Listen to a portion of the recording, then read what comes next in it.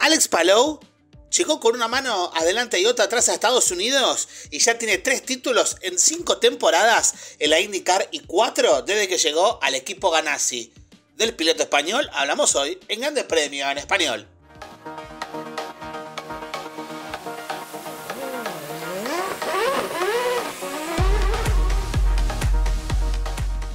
Mi nombre es Esteban García y hoy vamos a conversar de Alex Palou, el piloto del momento en la IndyCar porque se ha coronado bicampeón, ya tricampeón de la categoría de monoplaza de Estados Unidos después de haber llegado a ganarse en 2021. Ya lleva cuatro temporadas con el equipo de Chip y ha ganado tres títulos, eclipsando por momentos nada más y nada menos que el seis veces campeón a Scott Dixon y en estos años ya tiene la mitad de los títulos que el piloto de Nueva Zelanda. Así que el piloto español se está marcando unas grandes temporadas desde que arribó de Japón. Hay que recordar que Alex ha tenido un camino a la Fórmula 1 un poco tormentoso, muy eh, cambiante. Eh, tuvo una primera etapa en Japón, después intentó restablecerse en Europa la Fórmula 3 europea, no le fue bien en la temporada 2018, se volvió a Japón en 2019 y con el equipo de Satoru Nakajima, Nakajima Racing fue subcampeón de la Super Fórmula japonesa, perdiendo el título en la última fecha por un fallo mecánico a manos de Nick Cassidy, el piloto en aquel momento de Toyota. Y si bien tiene una importantísima oferta de onda para continuar en Japón en la temporada 2020, en la que ustedes recordarán de la pandemia, el Team Go y Dale Coin se asociaron para llevarlo a Estados Unidos y que empiece a correr en la IndyCar, ya por supuesto causó sensación con el primer podio en aquella temporada y su participación en el Fast Nine de las 500 millas de Indianápolis. El resto es historia conocida. Primera carrera con Ganassi, ¿se acuerdan? Aquella en Barber ganó la carrera y desde entonces han sido otras 11 victorias, muchos podios y por supuesto ya los tres títulos de Palou en la IndyCar. Tres títulos de Palou en la IndyCar en apenas 5 años. Hay que recordar que no venía de unos monoplazas similares a los de la Indy, como pueden ser los de la Superfórmula japonesa, que son muy similares en cuanto a japonesa, pero es una concepción de categoría muy diferente. La IndyCar tiene callejeros, circuitos permanentes y óvalos, que esta es la gran deuda que todavía tiene que pagar Alex Paloma en la categoría. Es cierto que ha estado cerca algunas veces, fue segundo en las 500 millas de Indianapolis de, 2021, esa que perdió a manos de Elio Castroneves, ganando la cuarta eh, suya para el brasileño.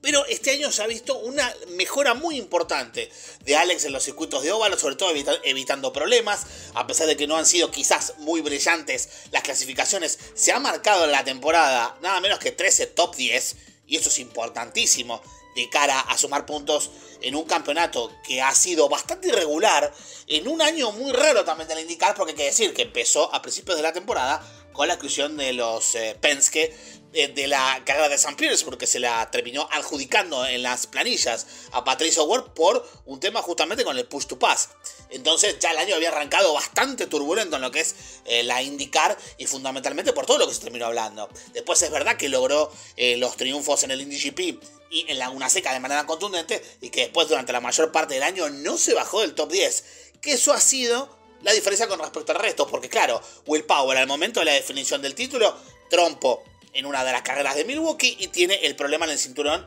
en la última fecha en Nashville, en el óvalo de Tennessee. Entonces estaba clarísimo que Palou lo tenía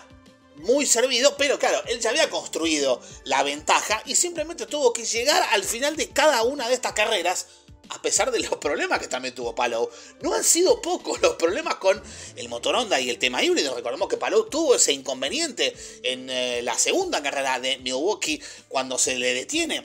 el coche se podría haber consagrado campeón ese fin de semana, cosa que no ocurrió justamente por este inconveniente, pero con los puntos que pudo sumar luego de los incidentes y también recuperando algunas de las vueltas perdidas que tuvo para que el equipo ganase y tuvo que devolverlo a pista nuevamente, ahí ha sido que eh, también eh, en esos malos días también ha sacado la diferencia. Y si bien es cierto que, como diría Scott McLaughlin, para ser piloto de indicar tenés que ganar también en óvalos, hasta ahora Alex no lo ha necesitado. Y tres títulos de palo contra cero de McLaughlin hasta ahora marca la gran diferencia que ha hecho Palo. No solamente por los títulos, sino también por la cantidad